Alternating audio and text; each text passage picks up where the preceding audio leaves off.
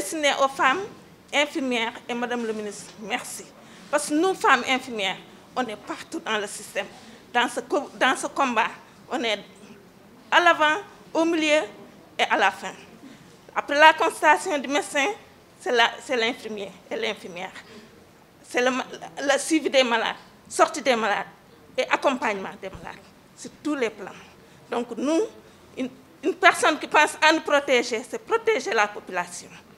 C'est protéger les enfants, c'est protéger les hommes. Merci encore, Madame la ministre, d'avoir pensé à nous. À chaque fois que l'association des sages-femmes, les femmes en particulier, les sages-femmes en particulier ont besoin de vous, vous avez été avec nous.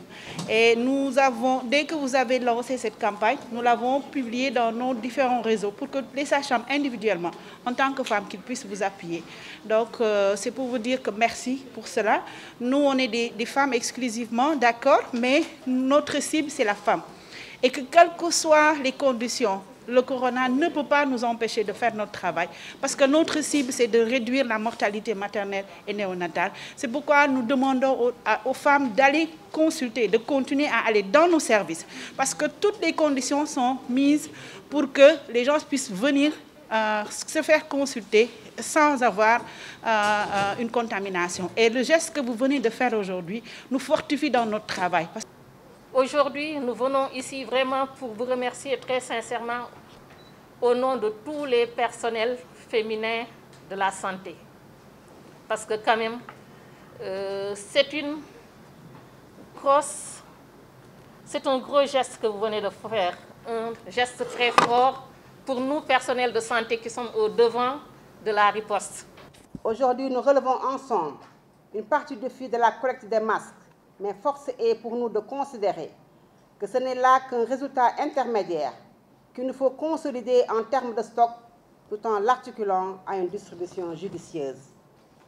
Je voudrais cependant insister, au regard de l'évolution de la pandémie dans notre pays, sur notre responsabilité dans la sensibilisation sur l'obligation pour que chacune et chacun de respecter les gestes barrières dans tous les espaces de vie et de veiller à la santé des enfants et des personnes les plus vulnérables.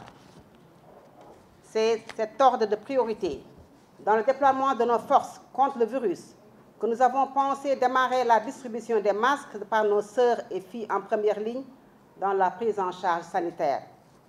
Aujourd'hui, c'est donc avec beaucoup de plaisir et de fierté que je m'en vais procéder à une remise symbolique aux femmes médecins, aux sages-femmes, aux infirmiers et infirmières, Bien entendu, ce choix, n'est pas point fortuit. Il traduit plutôt notre adhésion renouvelée au grand hommage que la nation sénégalaise doit et dédie à ses illustres fils et filles qui s'activent avec professionnalisme et dévouement dans l'offre de services sanitaires et de bien-être général. Le programme de distribution va se poursuivre dans tous les départements du Sénégal, sous l'égide des autorités administratives dont il me plaise de saluer ici la précieuse collaboration dans les opérations de collecte, en plus du soutien qu'ils ont bien voulu apporter aux différentes coordonnatrices départementales. À titre symbolique également, je procéderai à la remise des masques à différentes catégories de femmes dans les sites d'activité comme les, marchés, les quais de pêche et dans les sièges de station comme celle des femmes vivant avec un handicap. Ainsi, la campagne des masques pour sauver des vies contre la COVID-19, les femmes se mobilisent sera inscrite sous le signe de l'ouverture et de l'inclusion pour ne laisser aucune femme ou aucune fille en rade et sans masque.